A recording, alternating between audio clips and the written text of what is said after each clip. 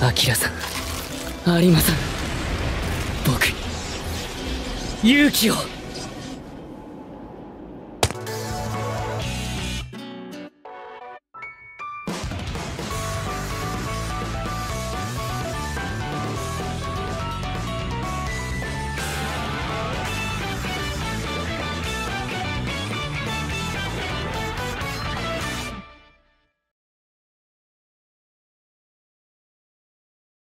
Oh, can you tell me, can you tell me what's happening to me? This monster- ¿Cómo están gente de YouTube? Yo soy Josuke, sean bienvenidos a un nuevo video más para el canal. En esta ocasión les traigo un video informativo que muchos han estado esperando por meses, y es sobre la información del tan esperado videojuego de Tokyo Ghoul y su fecha de salida, así que sin más que añadir comencemos con el video. Bien, el día de hoy, hace una unas horas aproximadamente, se ha revelado más información sobre el primer videojuego de Tokyo Ghoul, llamado Tokyo Ghoul Re, Call to Exist que tenía como fecha de salida, a finales del año pasado, pero esta fue postergada para este año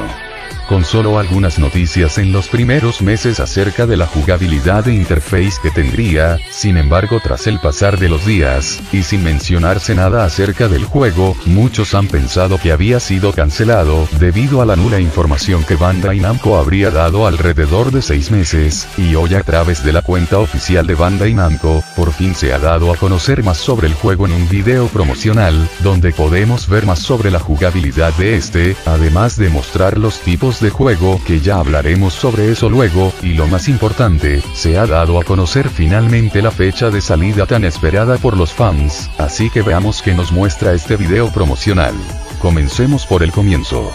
Bien, en el video promocional se nos muestra que efectivamente el juego tendrá un modo historia que abarcará toda la historia, ya que se nos muestra la pelea final entre Kaneki y Furuta. También vemos que como ya se nos había mencionado antes, el juego tendrá modo de un solo jugador como también un modo cooperativo. Y lo que más me llamó la atención sobre este video promocional, fue el hecho de que nos mostraran la tan aclamada creación de personajes, que es lo que muchos estábamos pidiendo para este tan esperado juego de esta gran franquicia llamada Tokyo Ghoul Re, Call to Exist. Y finalmente dando por decidida la fecha de salida, siendo esta el 14 de noviembre del presente año.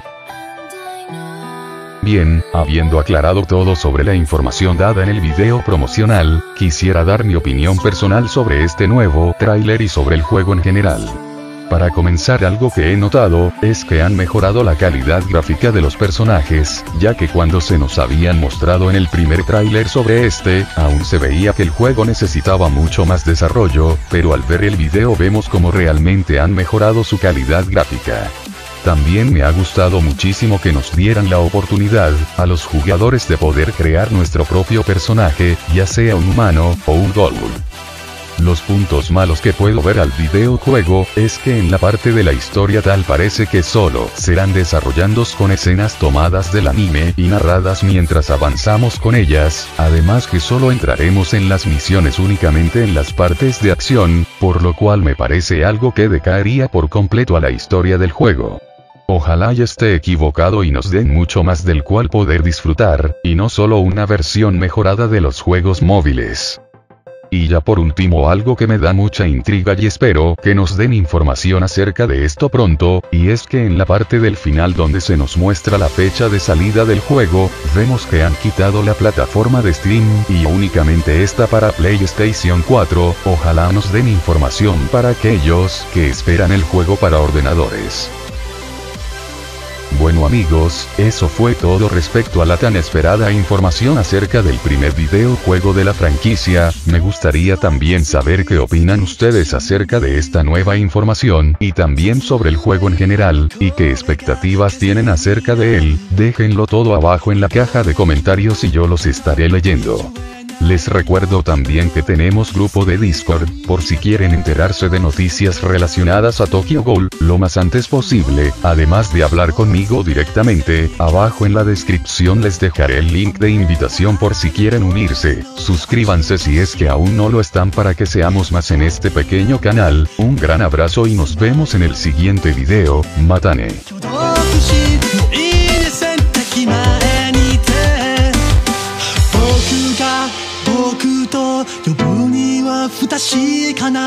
半透明な影が生きてる